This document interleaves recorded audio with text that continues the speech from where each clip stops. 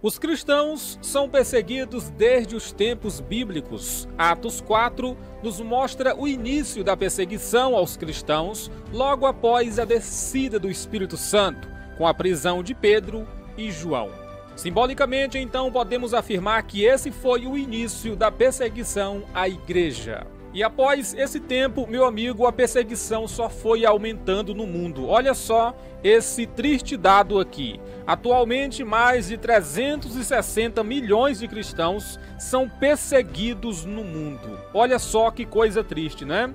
Bem, mas Jesus já avisou que não seria fácil. Jesus disse: vocês vão ser perseguidos por conta da verdade. Ele já avisou que não seria fácil. Ele disse assim: se fizeram isso com o ramo verde, o que não farão com o ramo seco? Se perseguem a mim, se não recebem a mim, o que não vão fazer com vocês? Uma certa feita eu vi uma pessoa falando assim: rapaz, esse Jesus dos crentes é muito fraco porque ele permite tudo isso acontecer com a sua igreja. Quem tem esse pensamento não entendeu ainda a mensagem do Evangelho. O Evangelho não promete imortalidade, promete eternidade. Eu aprendi isso. Jesus não prometeu que se você vier seguir ele, você vai ser imortal. Pronto, você não vai adoecer, você não vai ser perseguido, o povo não vão criticar você. Ele não prometeu isso. O evangelho não promete imortalidade, promete eternidade. Você é fiel aqui e no dia que você papocar, no dia que você bater as botas, você tem a sua salvação. Isso é evangelho.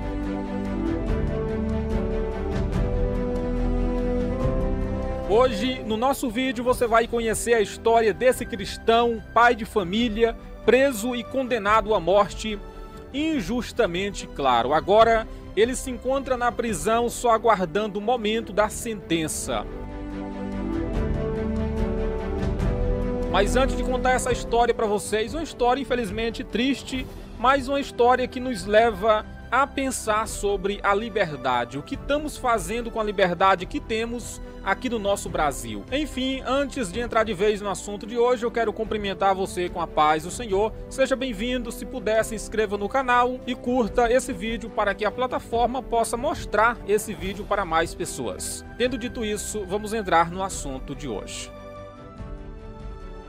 Meu irmão, esse é o Ashfaq Mas, de 34 anos, ele foi falsamente denunciado por um concorrente de sua oficina mecânica de bicicletas.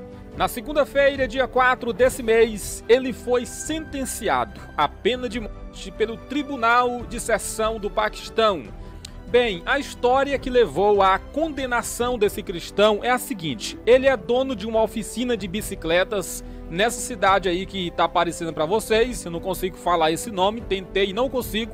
De frente à sua oficina fica outra oficina de bicicleta também, só que a diferença é que o outro lá segue a Maomé. Vai entendendo aí o negócio. Bem, a confusão começa bem aqui. De repente chega um cliente na sua oficina e se recusa a pagar o que estava devendo com o pretexto de que ele seguia a Maomé.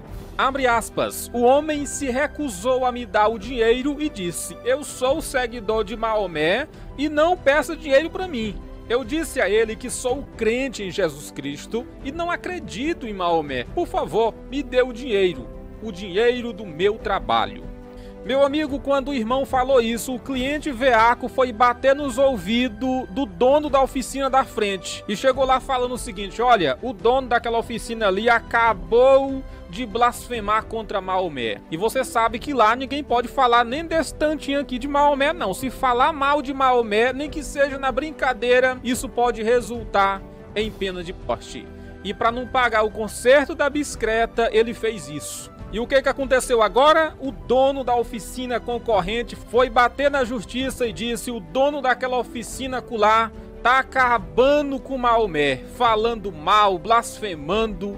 Meu irmão, que história, né? A pessoa ser morto por causa disso e o irmão não fez nada. Ele não falou mal de Maomé, não disse nada. Ele só falou que seguia Jesus e Maomé não tinha nada a ver com a questão e era para ele pagar o dinheiro dele pelo trabalho dele. Olha que coisa, né? E agora tá na prisão para ser morto por conta disso, simplesmente porque segue a Jesus e o cabra velho veaco que só o tinhoso fez essa armação todinha. Que história, né? Abre aspas. Na Vede abriu uma loja na minha frente e ficou com ciúmes porque o meu negócio estava indo bem e tinha uma boa reputação na área. Relatou o cristão no pedido de inocência. Conforme o Código Penal do Paquistão, profanar o nome do profeta do Islã leva uma pena de morte obrigatória. Eu mal me recompus e saí do tribunal e comecei a chorar, pois era o fim do mundo para mim. Corri para casa e informei minha família. Minha esposa e filhos também começaram a chorar. À medida que a notícia se espalhava, meus parentes começaram a nos visitar para nos consolar, mas não foi fácil para mim, porque o meu irmão é meu irmão único e eu amo muito. Posso fazer qualquer coisa por ele. Irmãos, e o mais revoltante dessa história toda é que não deram nenhum tempo para ele se defender. Exatamente, fizeram o julgamento da noite para o dia, entregaram a sentença e pronto, você vai morrer em praça pública com a corda aqui. Eu tenho que trocar aqui o vocabulário, por favor, entenda. Nós estamos aqui na internet, né? Simplesmente assim, da noite para o dia, condenado à morte por conta de um mal entendido, por conta de uma calúnia que inventaram, alguém que não queria pagar o conserto de uma bicicleta e isso acabou levando aí quase que a morte dele porque ele está aguardando só o momento ali da sentença, né? Já está condenado, já bateram o martelo. Meu irmão, que coisa. Vamos valorizar a liberdade que temos aqui no Brasil. Aí afora, meu irmão, o negócio não é brincadeira. Por qualquer coisinha a pessoa é perseguida, a pessoa é presa, a pessoa é morta por conta da fé em Jesus de Nazaré. Vamos valorizar a nossa liberdade e também, como eu sempre prego aqui, vamos ter cuidado com quem a gente coloca no poder. Cuidado com o vereador, com o deputado, com o senador, com o governador. Enfim, vigie. Em muitos países por aí era liberado pregar o evangelho. E as pessoas foram colocando gente ruim, pau ruim no poder e quando pensou que não, o evangelho começou a ser perseguido, começou a vir proibições e por aí vai. Então, esse vídeo aqui é para a gente pensar sobre a nossa liberdade, o que estamos fazendo com a nossa liberdade que é tão preciosa. Pense sobre o assunto e também vamos valorizar, irmãos, a liberdade que nós temos para pregar o evangelho, para servir a Deus você vê que aí afora não é fácil não, né? E aqui no Brasil às vezes tem crente brigando por conta de qualquer coisinha na igreja. Pronto, estão querendo puxar meu tapete, estão me criticando e por conta de coisas mínimas a pessoa deixa Jesus. Exatamente, tem gente que sai não é nem da denominação. A pessoa deixa Jesus, taca os pés em Jesus e vai pro mundão por conta de nada. E enquanto isso aí afora tem pessoas querendo pelo menos viver em paz e servir a Deus, mas são impedidas. Queremos terminar esse vídeo com as palavras do Mestre Jesus de Nazaré sobre o assunto. Como falamos no começo do vídeo, Jesus disse que não seria fácil. Jesus disse: Vocês vão ser perseguidos por causa do meu nome. Olha o que fala Aqui em Mateus capítulo 5, do versículo 10 em diante. Bem-aventurados os que sofrem perseguição por causa da justiça, ou seja, a palavra bem-aventurado quer dizer bem feliz ou muito feliz. Feliz serão vocês quando serem perseguidos por causa da justiça, porque deles é o reino dos céus. Bem-aventurados sois vós quando vos insultarem e perseguirem e mentindo disserem todo o mal contra vós por minha causa. E é o que está acontecendo com esse irmão. Inventaram uma mentira sobre ele para perseguir mesmo e colocar ali na prisão, né? Bem-aventurados sois vós quando vos insultarem, perseguirem e mentindo disserem todo mal contra vós por minha causa.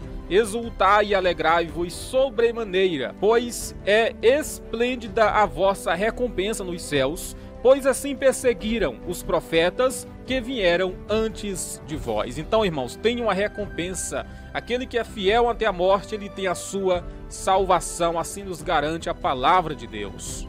Então, que essa história possa nos motivar a continuar servindo a Deus. O nosso irmão foi perseguido, sentenciado à prisão e só está aguardando o momento de sua morte, mas até o momento ele não negou a Jesus. E nós sabemos que aquele que vai até o finalzinho, sendo fiel a Deus, ele vai ter a sua recompensa na glória. Que Deus nos abençoe e que possamos continuar marchando em fidelidade a Deus e que possamos suportar qualquer coisa, irmãos, pela causa de Jesus vale a pena. Deus abençoe você. Se você acredita que esse vídeo pode somar na vida de mais alguém, pega ele agora e compartilha. Até amanhã, 4 horas da tarde, nesse mesmo canal, com mais um vídeo para te abençoar no nome de Jesus. A paz do Senhor e muito obrigado por ter ficado até o final. Poucas pessoas ficam. Muito obrigado.